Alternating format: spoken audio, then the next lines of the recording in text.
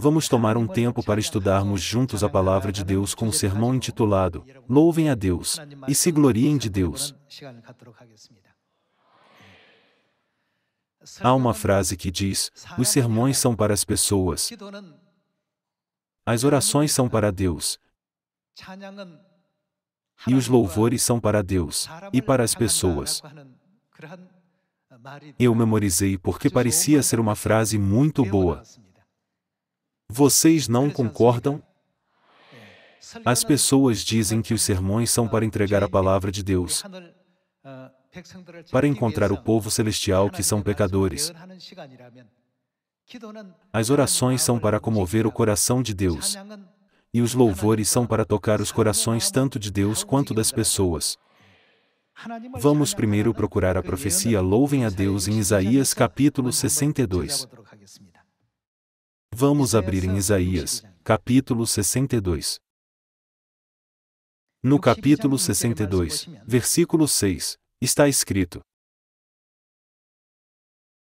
Sobre os teus muros, ó Jerusalém, pus guardas, que todo dia e toda noite jamais se calarão.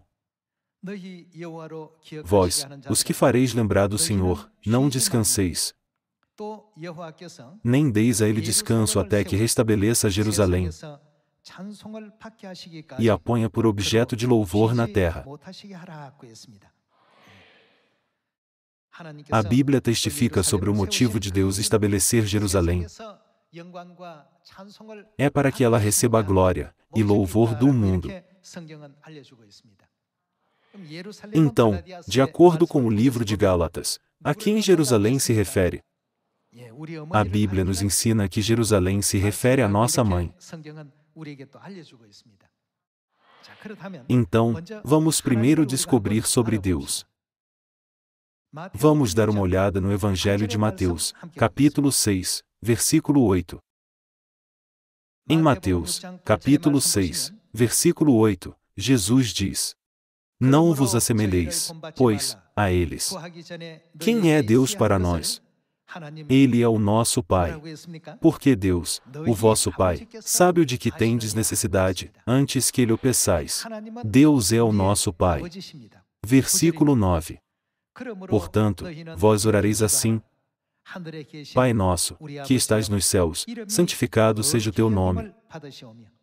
Venha o teu reino. Faça-se a tua vontade, assim na terra como no céu. O nome de Deus realmente merece ser santificado em reverência. Deve ser a nossa fonte de orgulho e motivo de louvor. O que Jesus nos disse para chamar Deus quando oramos? Jesus nos ensinou a chamar Deus de nosso Pai quando oramos. Essa passagem é incrivelmente importante. Vamos também dar uma olhada em Gálatas capítulo 4. Vamos ver como Deus definiu nossa relação com Ele em Gálatas capítulo 4, versículo 26. Mas a Jerusalém lá de cima, ou seja, no céu, é livre, a qual é? Quem é ela? Nossa mãe. De fato, nós temos o Pai Celestial e a Mãe Celestial. Em outras palavras, podemos dar louvor e glória a Deus quando temos uma fé firme, sabendo que existe Deus Pai e Deus Mãe, não é verdade? Cerca de dois mil anos atrás, o apóstolo João desejou muito ver a noiva, a esposa do cordeiro. O anjo disse: Mostrar-te-ei a esposa do cordeiro. E então mostrou a ele a santa cidade de Jerusalém que descia do céu. O anjo mostrou Jerusalém como um símbolo da esposa do cordeiro. O apóstolo João queria ansiosamente ver a realidade de Jerusalém, mas não conseguiu. E quanto a nós hoje? Não estamos vendo ela? Quando consideramos a nossa posição, compreendemos, somos realmente abençoados. Quão importante e grandiosa é a posição de um dos doze discípulos de Jesus. Até mesmo o apóstolo João, que ocupava uma posição tão importante, não conseguiu vê-la. No entanto, nós estamos recebendo essa graça agora. Por isso, jamais nos esqueçamos do quanto somos abençoados. Vejamos o livro de Gênesis, capítulo 1, versículo 26. Livro do Gênesis, capítulo 1, versículo 26. Também disse Deus: Façamos o homem à nossa imagem, conforme a nossa semelhança. Deus disse: Façamos o homem. Mas em outras igrejas, eles ensinam que existe apenas um Deus que criou a humanidade. Porém, já que a Bíblia descreve aquele que criou a humanidade no plural, não está claro na Bíblia que o Deus Criador não é um só? Então, podemos mudar até mesmo uma palavra na Bíblia? Está escrito em Deuteronômio e Apocalipse que nunca devemos mudar nem mesmo uma palavra na Bíblia. Tendo isso em mente, podemos perceber que a palavra façamos aqui, definitivamente, não é uma expressão no singular. Em outras palavras, podemos confirmar que não houve um Deus único que criou a humanidade, não é? Por favor, prestem atenção. Versículo 27. Criou Deus, pois, o homem à sua imagem, a imagem de Deus o criou. O que ele criou? Homem e mulher os criou. A imagem de quem foram criados o homem e a mulher? Homem e mulher foram criados à imagem de Deus. Em outras palavras, já que não existe apenas uma imagem masculina de Deus, mas também existe uma feminina. Como Deus se descreveu? Deus disse: façamos o homem. A imagem masculina de Deus é chamada de Deus Pai. Então, naturalmente, como devemos chamar a imagem feminina de Deus? Ela deve ser chamada de Deus Mãe. Quando vemos a Bíblia, compreendendo a existência de nossos pais espirituais, Deus Pai e Deus Mãe, que criaram a humanidade no princípio, podemos entender completamente a verdade. Existe Deus Pai, que possui a imagem masculina, mas quem mais existe? Devemos saber que definitivamente existe Deus Mãe, que possui a imagem feminina. Devemos nos tornar aqueles que podem louvar nosso Pai, nos gloriar dele, e também louvar a glória de nossa mãe, e dar graças a ela. Já que recebemos a missão de atalaias, para nos gloriar de Jerusalém, de acordo com a profecia registrada em Isaías capítulo 62, o que devemos fazer? Devemos nos gloriar de Jerusalém para o mundo inteiro. Nós temos a maior fonte de orgulho. No passado, as crianças costumavam ter orgulho de seus pais nos parquinhos, dizendo: Ei, meu pai é muito forte ou meu pai é muito bonito. Nesse sentido, devemos nos gloriar ainda mais de nosso Deus. Ser reservado tem seus méritos, mas precisamos falar mais quando se trata de nos gloriarmos de Deus. Deus concedeu essas bênçãos sobre mim, minha família, meu grupo e minha região. Ele sempre concedeu bênçãos sobre a nossa igreja. Vocês têm o pai que lhes ensina a guardar a Páscoa? Vocês têm a mãe que lhes ensina a guardar a nova aliança? Nós chegamos a conhecer o dia de sábado através do pai e da mãe, não foi? Todos os filhos de Sião devem realmente saber como louvar a Deus e se gloriar de Deus. É por isso que o profeta Oséias disse que, entre as coisas necessárias para servir a Deus, devemos prosseguir em conhecê-lo e sempre nos gloriar dele. Vamos para o livro de Oséias, capítulo 6. Oséias capítulo 6, versículo 3. Conheçamos e prossigamos em conhecer ao Senhor. Aqui nos mostra que devemos conhecer a Deus. Devemos nos esforçar ao máximo para conhecer a Deus. Como a alva, A sua vinda é certa, e ele descerá sobre nós como a chuva, como chuva ser o dia que rega a terra.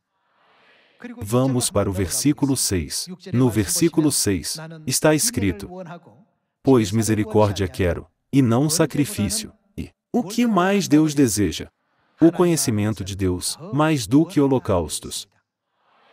Aqui, Deus quer nos ensinar, embora milhares de cultos, sacrifícios e orações sejam importantes. Acima de tudo, eu quero que vocês tenham um correto conhecimento de Deus. Então, as numerosas igrejas de hoje realmente conhecem e servem a Deus? Eles estão servindo a um Deus que existe apenas em seus próprios pensamentos e concepções. Por outro lado, não estamos agora recebendo, adorando e louvando Deus que a Bíblia testifica, com base em que dizemos: Esse é o nosso Pai. Esta é a nossa mãe. E onde está a evidência? Estas são as Escrituras que testificam sobre mim. Jesus, que veio a esta terra há dois mil anos, deixou isso claro para nós. Se não há testemunho na Bíblia, não precisamos crer. Mas se há testemunho na Bíblia, não deveríamos crer e seguir o que está testificado? O que diz em Isaías capítulo 25? Eis que este é o nosso Deus, em quem esperávamos, e ele nos salvará. Vários sinais são apresentados lá para reconhecermos o verdadeiro Deus. Os sinais são os vinhos velhos, e a festa onde ele tragará a morte para sempre. Há cerca de 2.700 anos atrás, o profeta Isaías profetizou sobre a época do Espírito Santo. Então, que tipo de vinho é o vinho velho que pode tragar a morte para sempre? Existem dezenas de milhares de diversos tipos de vinhos no mundo. Entre todos os tipos de vinhos, qual é o vinho que pode tragar a morte para sempre? Existe algum outro vinho além do vinho da Páscoa da Nova Aliança? Deus disse: Vocês estudam as Escrituras diligentemente. Porque pensam que nelas tem a vida eterna. E são as próprias Escrituras que testificam sobre mim. Então, os testemunhos sobre o pai e sobre a mãe devem estar registrados na Bíblia. Como podemos ver o que Deus disse em Gênesis capítulo 1, versículo 26, no primeiro capítulo dos 66 livros da Bíblia? Façamos o homem à nossa imagem, conforme a nossa semelhança. A Bíblia não ensina claramente que o Deus que criou a humanidade não é apenas um único Deus? Deus criou a humanidade à imagem de Deus. Eles não foram criados à imagem de nenhum anjo. Como homem e a mulher foram criados à imagem de Deus, isso claramente significa que existe um Deus, com a imagem masculina, e também existe um Deus, com a imagem feminina. Esse Deus que criou a humanidade nos dá vida, nos dá o fôlego, e permite a nossa existência. Deus Pai e Deus Mãe não existiam antes de nós nascermos nesta terra? Portanto, a Bíblia nos desperta para a existência de Deus Mãe por meio de Gálatas capítulo 4, e para a existência de Deus Pai por meio de Mateus capítulo 6. Fomos ensinados a dar eternas graças. Glória e louvor ao Pai Celestial e à Mãe Celestial, que são os Criadores. É porque, segundo Isaías capítulo 53, foi profetizado que o Pai Celestial seria atormentado, traspassado e açoitado por causa das nossas transgressões e iniquidades. Isaías capítulo 50 nos mostra que toda a dor e tristeza que a Mãe Celestial suportou, no final, se originaram dos pecados e transgressões que seus filhos cometeram no céu, não é? Então, o que a Bíblia nos instrui a fazer a respeito de Deus? Dai graças a Deus, louvai a Deus, e dai glória a Deus. A Bíblia registrou essas palavras várias vezes. Então, onde habita Deus? A quem devemos dar glória, graças e louvor? De qual Deus devemos nos gloriar?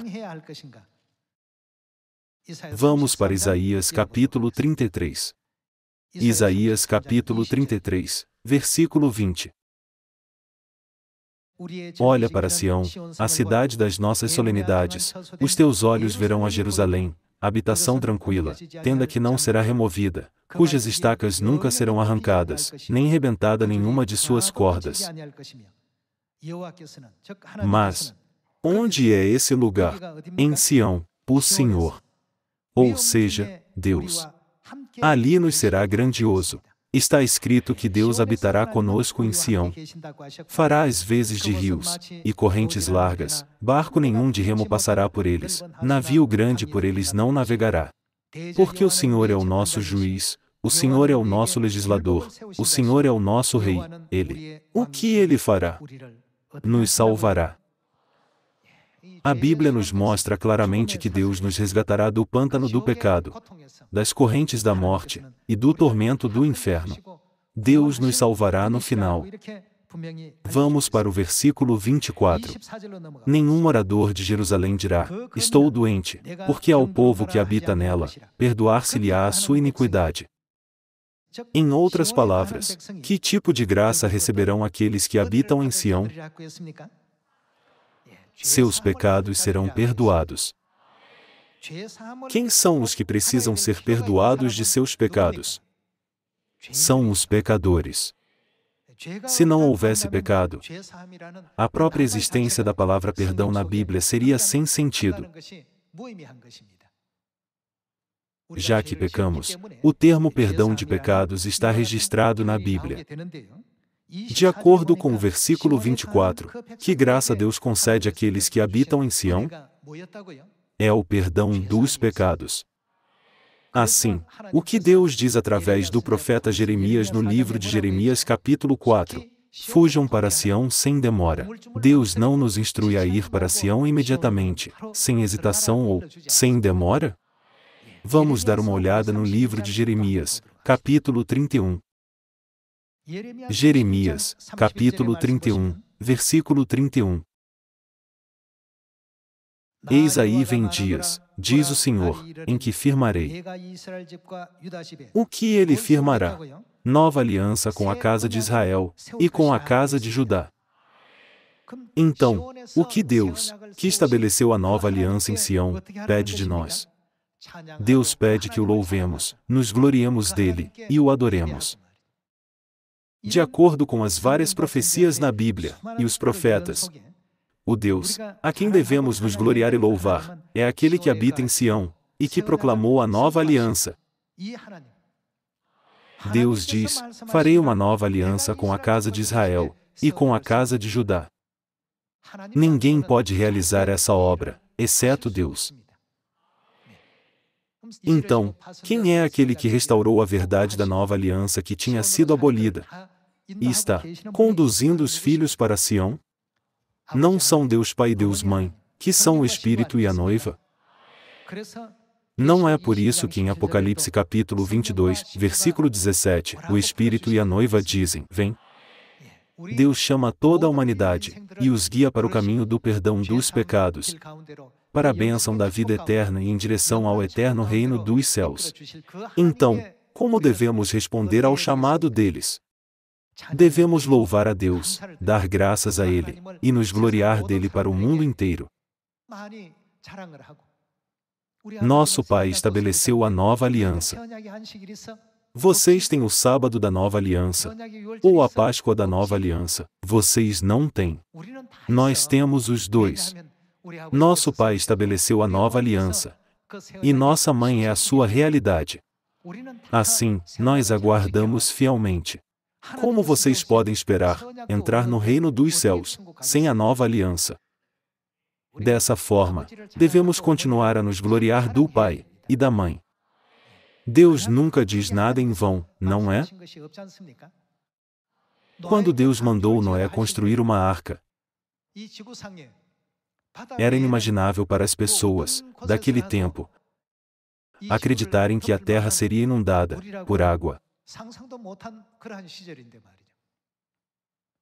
Então, Deus mandou Noé construir a arca sem motivo? Não havia vontade dele de salvar a humanidade através da arca? Por trás dos mandamentos de Deus está o seu plano infinito. Então, quando ele nos diz: gloriem-se de Deus, louvado seja Deus, e não deis descanso aos atalaias de Jerusalém, que eles proclamem a sua glória a todas as nações, e se orgulhem dela até que ela receba a glória no mundo. Há uma clara razão, pela qual devemos fazer como Deus ordena. Devemos sempre nos gloriar de Deus, em nossos locais de trabalho, nas nossas escolas, no exército, junto aos nossos vizinhos, aos nossos conhecidos e aos nossos amigos. Quanto mais nos gloriamos de Deus Pai e Deus Mãe,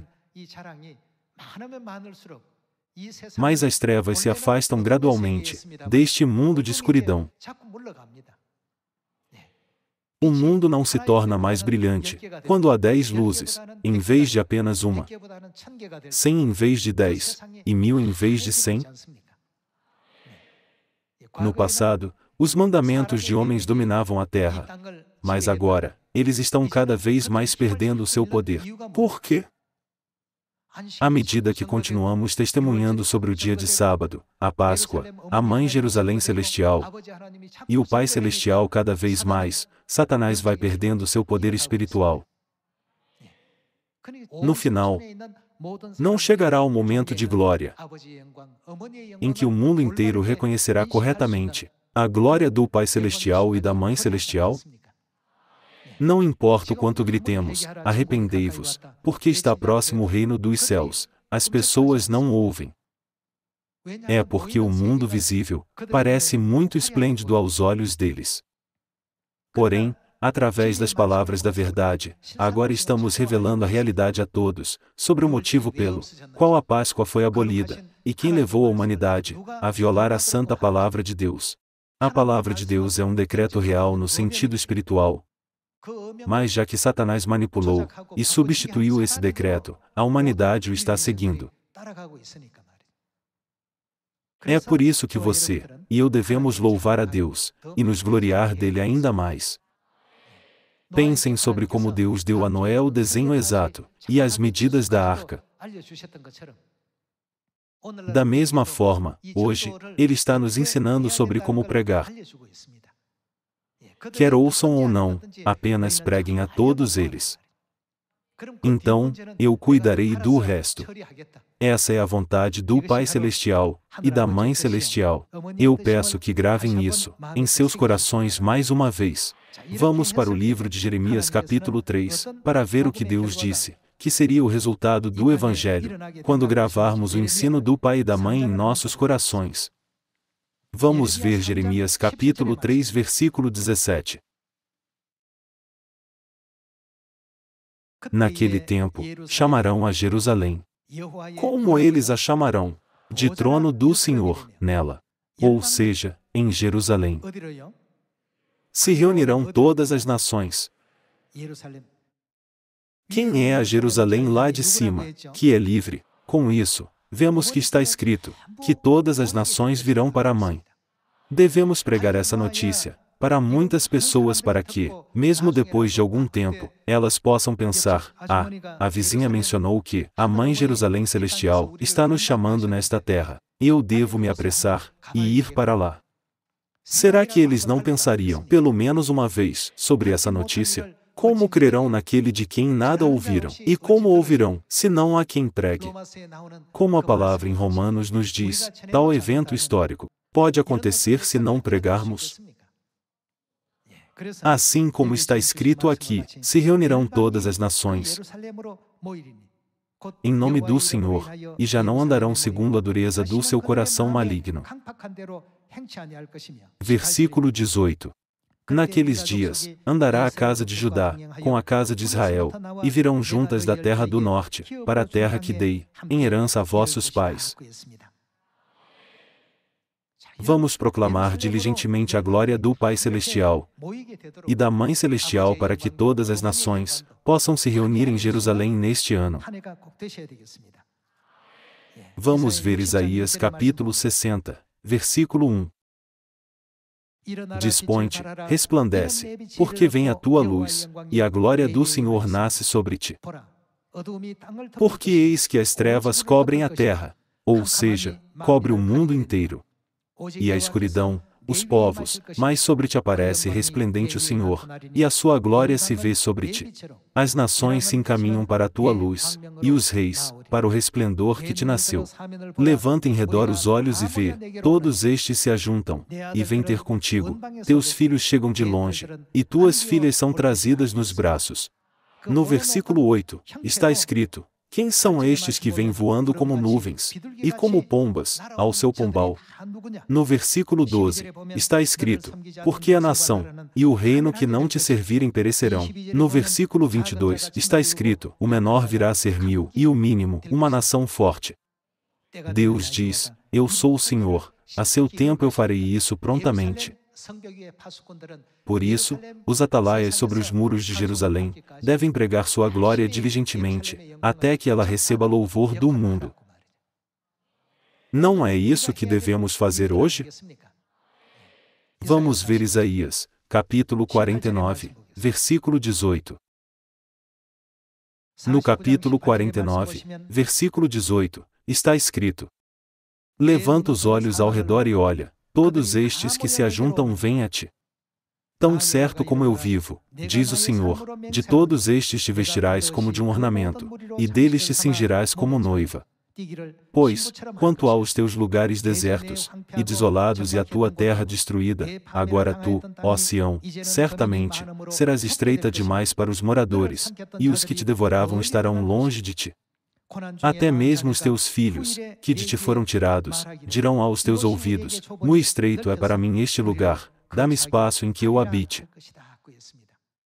Aqui também está escrito: Todos os teus filhos se ajuntam e vêm a ti. O escritor dos Salmos nos exorta a nos gloriar de Deus, dia após dia, e momento a momento, sem cessar. Então, existe apenas Deus Pai?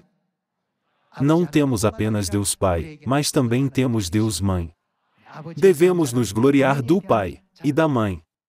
A Bíblia enfatiza, repetidas vezes, que devemos nos gloriar de Deus. Hoje, através deste sábado, vamos nos gloriar do Pai e da Mãe, que criaram os céus, a terra e tudo o que neles há. Para todos os filhos de Sião, o fato de que temos Deus Pai, e o fato de também termos Deus Mãe, são as verdades mais importantes. Se toda a humanidade, que espera pela salvação, não vier ao Espírito e à noiva, não poderá receber a água da vida. Sem a água da vida, não podem alcançar a vida eterna. Se não têm a vida eterna, não podem receber o perdão dos pecados sem o perdão dos pecados, não estão qualificados para entrar no reino eterno dos céus. Assim, vocês e eu somos pessoas realmente abençoadas. Somos gratos pela graça do Pai e da Mãe que nos concederam o sábado e a nova aliança. Também somos gratos pela graça do Pai e da Mãe. que nos conduziram a Sião, onde podemos encontrá-los. Não vamos guardar essa notícia alegre só para nós, mas vamos continuar a espalhá-la.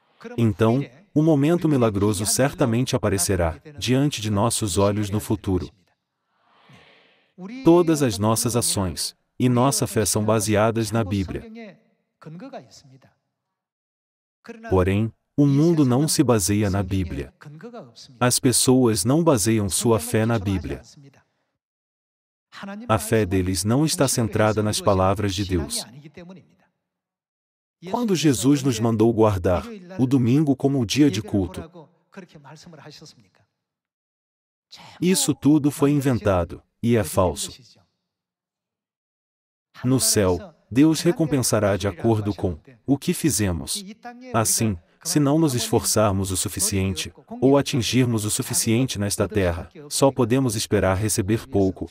Assim, hoje também, devemos nos esforçar, para acumular muito, para o reino dos céus. Enquanto fazia minhas orações matinais, este pensamento me ocorreu de repente. Esperando que, por meio deste santo sábado, vocês também possam dar glória e graças ao Pai de todo o coração. Gostaria de concluir o sermão de hoje. Muito obrigado.